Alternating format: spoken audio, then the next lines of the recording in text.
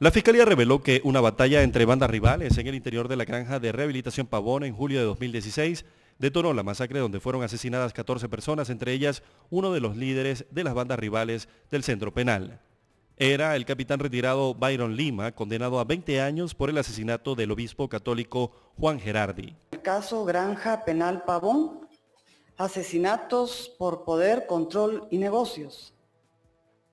Recordando que el 17 de noviembre del año 2015, los privados de libertad Marvin Montiel Marín y Byron Lima Oliva fueron trasladados al sector 9 de la granja modelo de rehabilitación Pavón procedentes del centro de reclusión de Matamoros y que entre ambos existían ya conflictos personales.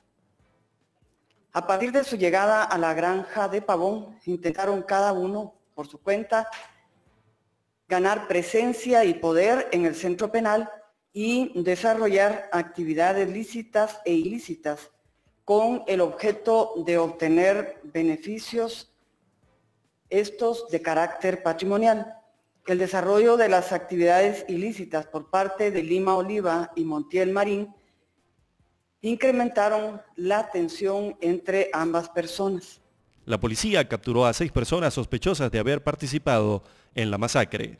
Los integrantes externos de la estructura proveen de armas y explosivos a Montiel Marín, contando con un grupo externo de traficantes de drogas y armas que fueron coordinados por la esposa de Montiel, Sara Elizabeth Cruz Mansilla.